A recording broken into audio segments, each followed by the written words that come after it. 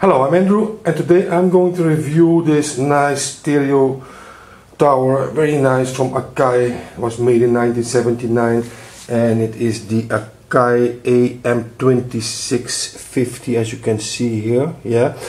Earlier I reviewed in my other videos, you can see the AM2850, that was a superb sounding amplifier. Really that thing knocks me out of my chair every time I put that thing on, but this thing is a model smaller. I also reviewed the 2450, that one sounded good. And uh, so this was the one I still didn't uh, review yet and didn't score yet. And well, this thing came complete. I already have it a long time in my house and uh, I think, okay, it's time for a review. I made a video from this same uh, amplifier just now how I cleaned the uh, speaker relay because the sound was not good. I cleaned the, uh, the speaker relay several times, I cleaned the pot meters and then I noticed, then I noticed that there was nothing wrong with this amp. The problem was that I blew up my Magnat. I blew up my Magnat, this one. It doesn't have any bass anymore. So that was the reason why I thought it was a problem of the uh, of the amp and it was not the amp it was uh, uh, my speaker. And the speaker I think blew up because of this very hard cracking noise when I switched this thing over. The cracking noise is now completely gone yeah? But uh, before I used uh, uh, spray on it it was cracking very heavily and it's good now but I blew up my speaker. So I have some more speakers in my basement, some good speakers, but uh, I will not take them from uh, from from downstairs. They are heavy, and uh, well, I will do the test with this uh, JBL TI600, but they are not that good sounding. Not, a, not, not even close as this my old Magnat. Listen to this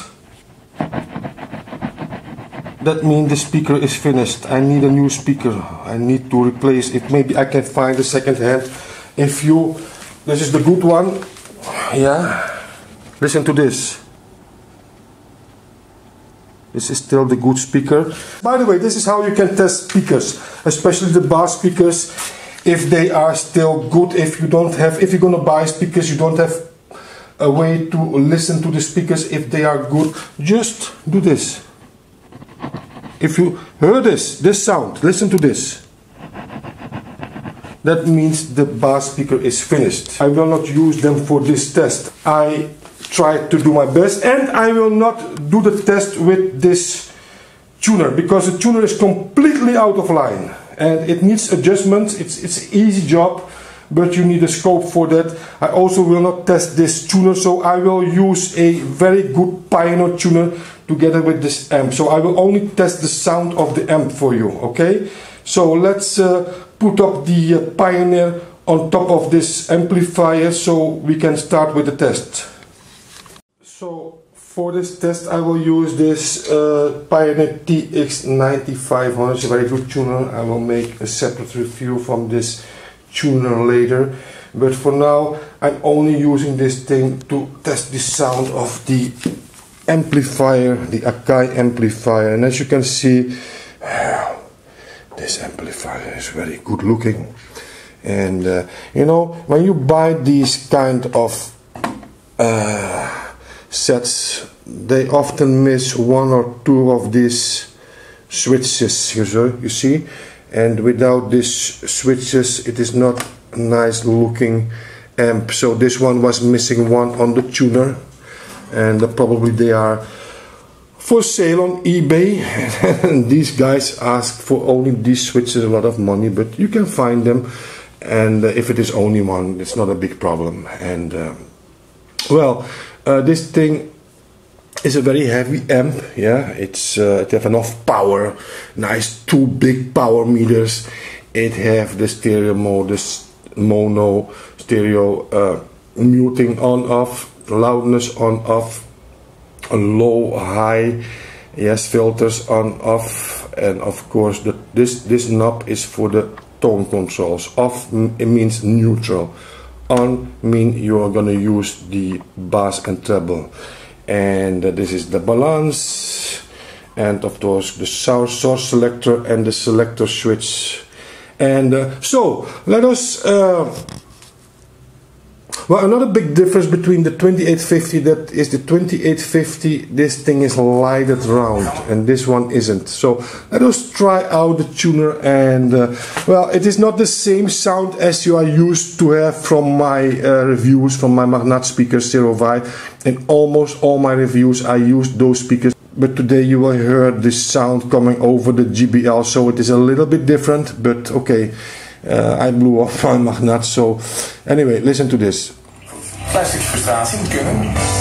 Maar dan denk ik van ja, hoe weet je, dan doe je iets als je ergens verstand van hebt. En al heb je ergens verstand van, neem dat niet op aan andere mensen. Denk dat het dag.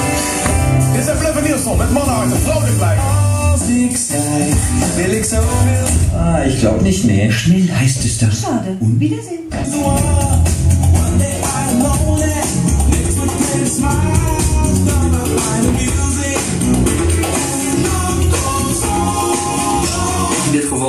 Geval nu op die.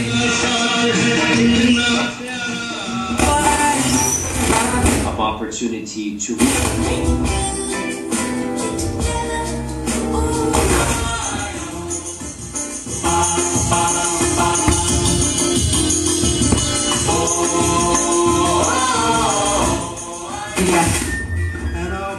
Dat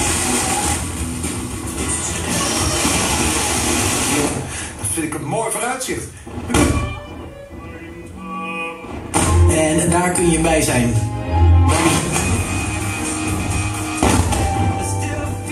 Vandaag in de Tweede Kamer, want voor Eerste Kamerleden was de ramp met de MH17. Dan wordt het hele budget van de CO2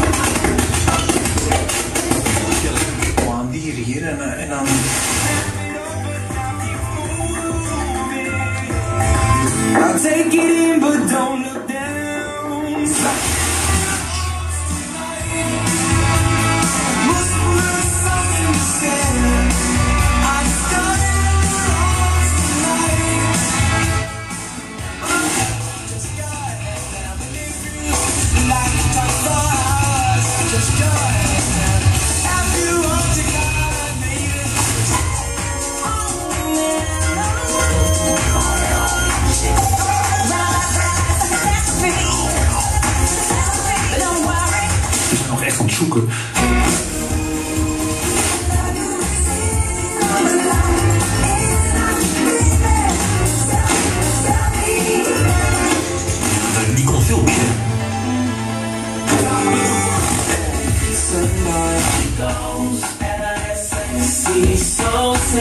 Anyway, this thing doesn't sound as the 2850, not at all. It is a very big difference. Uh, it sounds okay, you know, I am not say, saying that the sound is bad, yeah. It's a good sound, but don't think it is the same as the 2850, and because that one sounds really. I miss some uh, clarity in this amp, some, some, uh, yeah how can I? The bass is plenty that I, I even think the bass is too much. Yeah, when I put the thing on neutral, I think it, it produces a booming bass because I I tested this thing on one of my Magnat speakers, so I can hear the difference very clearly. So it's not the same. It's not the same sound as 2850. You know, not even close. And um, I think it's better than the 2450 or almost the same. So if you have the 2450 or the 2650 like this one, it's almost the same. You know, only this one have a little bit more power than a 2450. And uh, well, if you buy a receiver like or an amplifier like this and it's a good con- condition don't hesitate it's a nice amplifier they are collector's items uh, I already sold this unit to a guy far away. He lives in Europe but he lives far away in Litauen and I will send this set to him. And uh, the only thing he has to do is to align the tuner and well that will be a very easy job because a tuner align job is well five or ten minutes job. So anyway this was my small review from this nice Akai 2850 Uh, I, if you want to see how I clean the uh, speaker relay from this uh, Akai, this, this amplifier, just watch my other video. And uh, I will be back uh, for a review from this nice tuner, this top tuner. This is really one of the best tuners ever built. This TX9500 and well I don't say it's better than the Akai AT2450 because I'm well I like more the Akai tuner than this one. But the looks the feelings the knob feelings everything from this Akai is much better than this Pioneer. But I will make a separate review from this well this tuner. They are well they are collector's item too. And if you have a 8500 or a 9500 Pioneer amplifier it's matching with them. And uh, so but for now I'm ending this review from this Akai 2850 if you want to see the uh, how I clean the speaker relay from this amplifier just uh, uh check on uh, on my, my other videos. Well thanks for watching for now. I say bye bye